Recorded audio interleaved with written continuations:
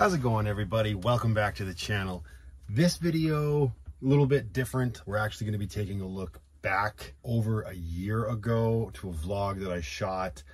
At the time, I was shooting sequentially with all of the rest of my like van build and van camping vlogs. If you're new to the channel, my name's Matthew. I live in my van full time with my two cats. I'm currently on vacation in BC when I'm filming this segment. I'll probably be back to my usual schedule soon enough. Um, I've been doing some projects, so my bed is in a bit of a disarray and everything, but we'll get into that in the future, along with the fact that one of the reasons I'm kind of sort of releasing this vlog now is just because I've been extremely ill while out here and on vacation, which has sucked. But again, we will get into that in a future vlog. And I've never really spoken directly about my situation before I moved into the van in regards to what I was doing for a living. I've mentioned it briefly here and there, and I think I've talked about it vaguely on some of my live streams. I was working for a photography company called Lifetouch. They are a huge North American company. They are out of the United States and they have a branch up here in Canada. I started working for them in 2013 as a photographer. It's school photography, so it's kind of like school day photos and classroom photos, teams and clubs photos, graduation photos, that sort of thing. And I did that for like seven, eight years with them. And then at that point, a position had opened up in a in the yearbook department of the company. And I applied. I threw my hat in the ring, so to speak. And I ended up getting that position and it was great. And I, I did that for, I think just, just over a year maybe. And I was, I was a, I was a sales rep for the yearbook division. I never knew what to call it, department, vision. but while the official title was sales rep, I was much more hands-on with what I was doing because Lifetouch has sales reps for the photography side of things and they have sales reps for the yearbook side of things. But as a yearbook rep, I actually worked hand in hand with like the yearbook club. So working with the students, helping them put together their yearbook, how to design it, this, that, and the other thing. And I loved it. I was having a great time. And then of course, the COVID-19 pandemic happened and we all, everybody scrambled and adjusted and we figured out ways to work from home. That was one thing that was nice about the new position that I was in. I wasn't affected by any sort of protocols because I could do everything remotely. With the internet and everything, I could log in, I can help people through Zoom meetings and all that sort of thing. My position didn't really get affected. That was until January of 2021 when Lifetouch made the decision to lay off over 800 positions in one fell swoop. And uh, they did it on a conference call, not with the entire company or anything like that, but with an, a huge number of people. Um, it was such a crappy day because not only did they do it ultimately on a conference call and just nobody got to ask any questions or anything, it was just everybody logged into the same call saying, if you're on this call, you no longer have a job with Lifetouch. But before that, they sent out emails to everybody saying, you need to be on this conference call at this time or another set of people saying you need to be on a different call at this time. Now, normally you wouldn't want these two groups knowing about it, but they didn't BCC everybody. They just put everybody's emails in there so we could talk amongst ourselves and realize, oh, I'm not on your list. You're not on my list. Huh, that's concerning either way, I mean, I can't imagine what it's like to you have to run a huge multi-million dollar company like that and make the decision to axe jobs.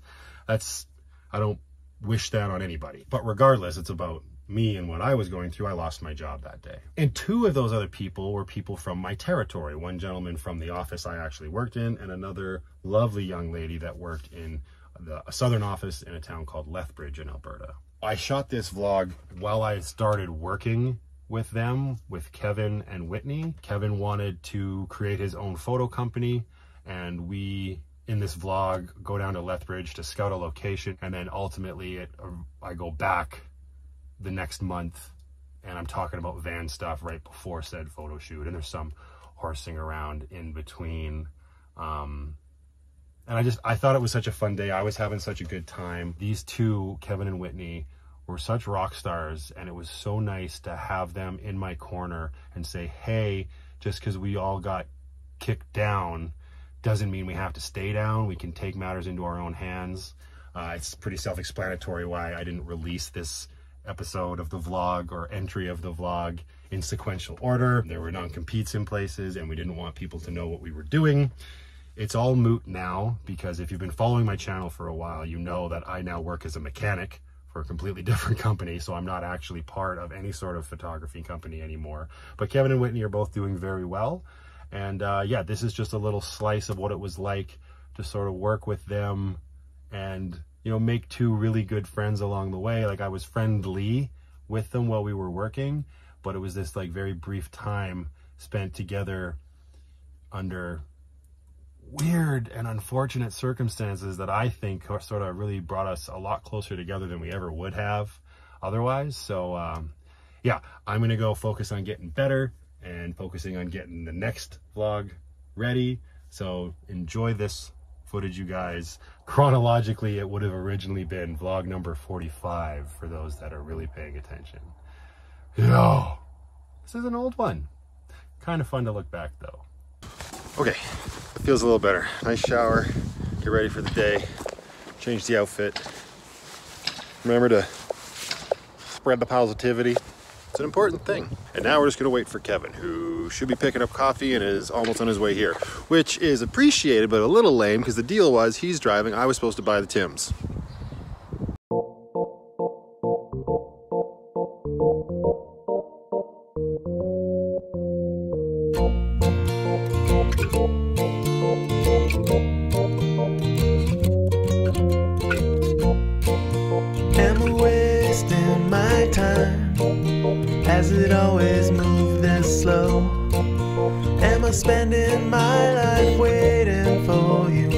Places I could go, but I'll wait for you. Always. I thought I was getting the Tims. Yeah, well. yeah, well, I was. Thank you. Breakfast.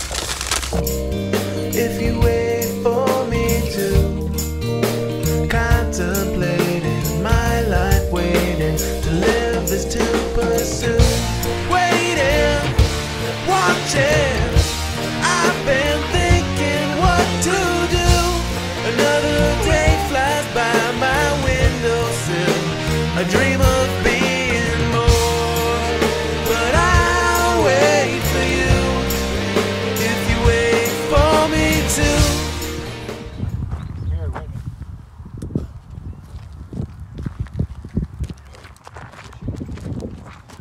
Oh, we got a new photographer? This is what's gonna happen. Yes. Yeah, new photographer. Just got hired. I love how you're holding it. This is.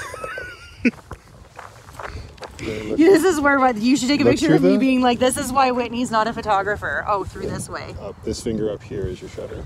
This? Yeah, Okay. And then I just press. yeah. Where am I? So half a press will focus. You put them on his face. I put the squares on his face. Yeah, as best you can. Like That. Ah, Okay, then press the play button. You can get, let's look a little closer. That's a real wide shot. Oh, is it zoom? What is it? It looked like a, it's so stubby. Oh, it goes to 80. There we go. Yeah. Had to put on a cowboy boots. You got to dress for your clients. What clients? Wait, Whitney. Where, where are the This is we made it as a make believe. This is all bullshit. Look at that Greyhound bus depot sign. That font's cool. Where to Queen Bee? I swear to God, if there's more than one location, I don't know what I'll do. Oh, it's all done. It's not even in service. No. Like if somebody got their head chopped off. That shit. This sign's made for me. Maybe I should buy it. Look at these two. Sitting in their cars, individually social distancing. At least they're being legal. yeah, a burger or something. So that was a day. Let's just say it's a good thing I'm not driving because not eating in three beers equals trouble. But it was fun. And I don't know where we're going, but we're gonna get something to eat. Whoop up. Whoop up. Does it drive? Whoop up drive. There any not greenhouse grown lettuce? I was gonna say greenhouse grown lettuce at Wendy's. Who's buying that? I'm not. Can I get a number two combo with Coke and no onion? two, no onion with Coke, that's right. Small, medium, or large? Oh, just uh, medium's fine. I'll get the same. No lettuce. Anything else? Another number two, no lettuce, large, please, with a Coke. I'm gonna get extra lettuce, you're gonna get extra onions. You watch. It's gonna be a bunch of bullshit. He says, holy shit, when he passes me my drink. That's because Wendy's is insane. That's a lot. Shit. Kevin asked for a small, and that's what he ended up Yikes. That's why Wendy's is the bomb.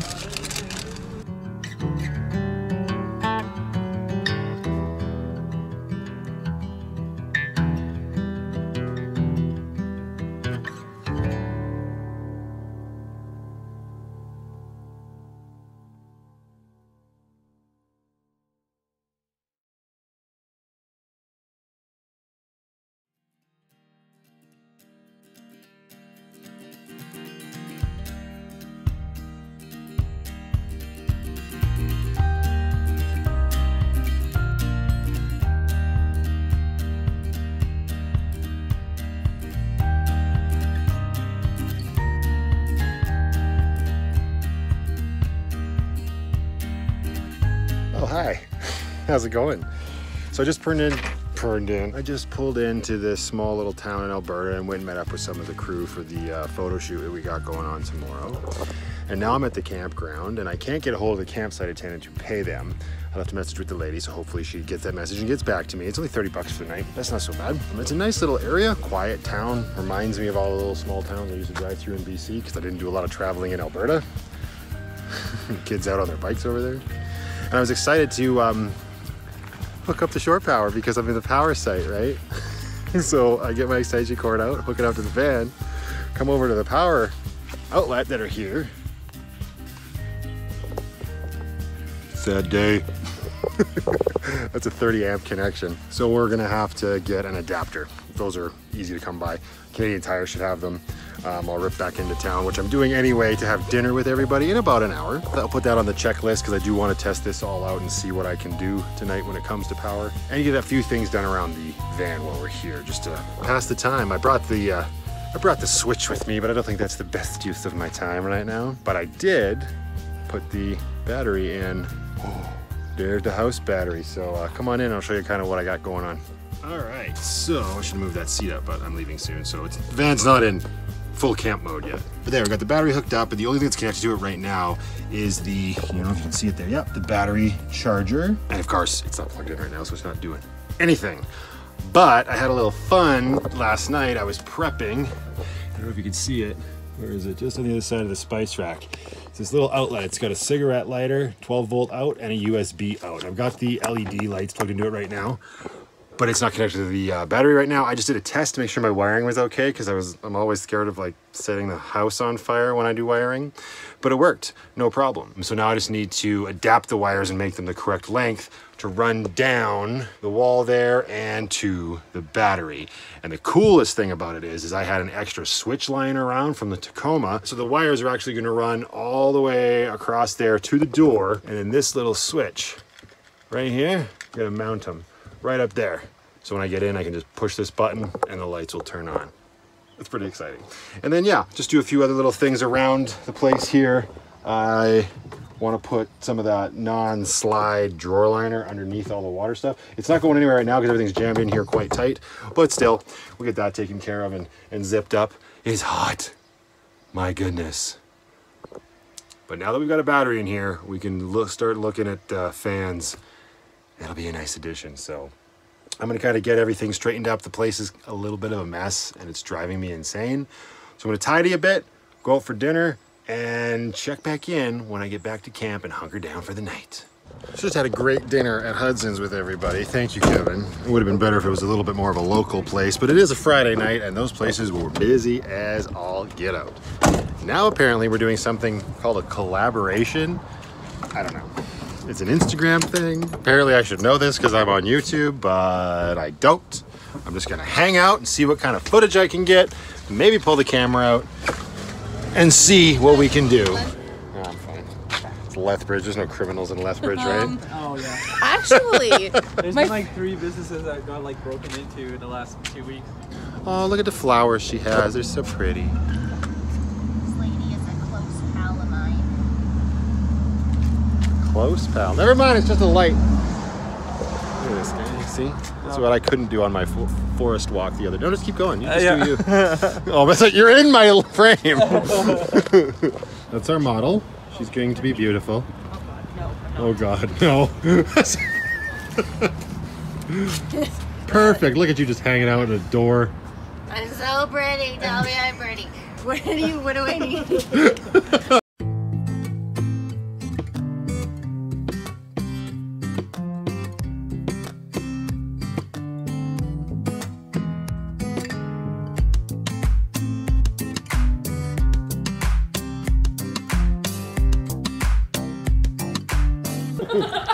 Questionable alley. yeah. this is where she got her wedding photos done. Walks away.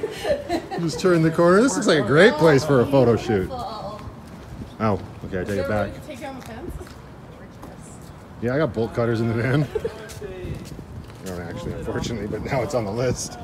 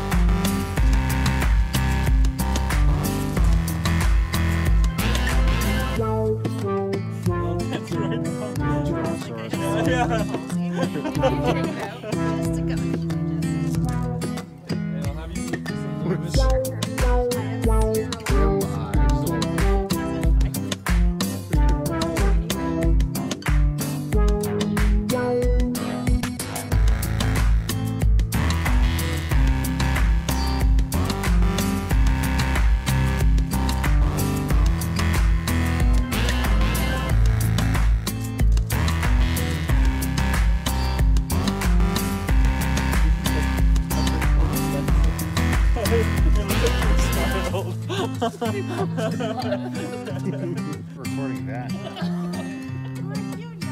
No, god damn it. Fuck. Ah. That's how you know it was good. For your legal team like. She's a real threat. I could urkel my pants up some more for you. That's what you want to hear from your model.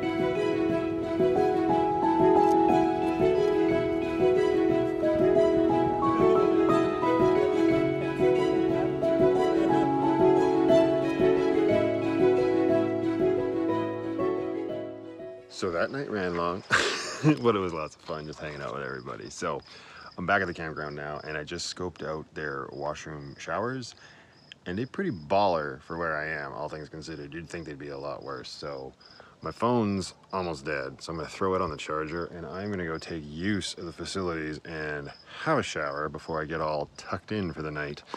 Don't know how much I'm gonna get done tonight. Look how cool the moon looks up there. Ooh. Well, it just looks like a fiery ball to you.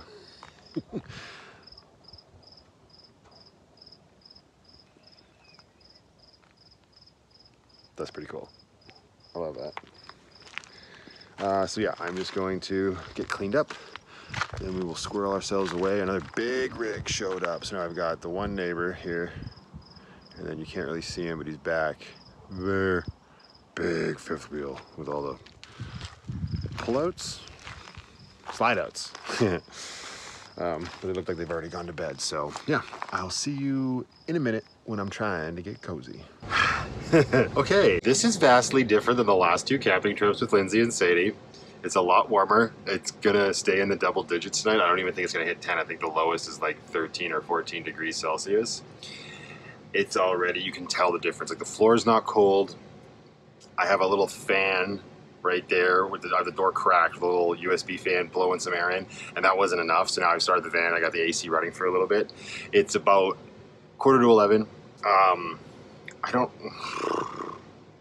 I wanted to wire up these lights. They're just back on the um, USB bank right now.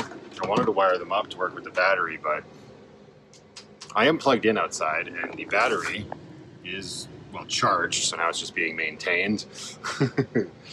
I don't know if I'm going to do any of that tonight. I might just relax and go to sleep and get up early. That was a super fun day, though. It's nice to like have this guy back in my hands and doing photo shoots again.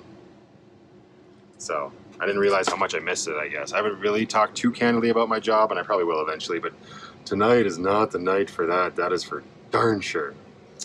Um, so I'll see if I get to anything, and you'll tell the next clip whether I do or not, because it's either going to be me doing whatever I decide to do, or me waking up and getting on with the day tomorrow.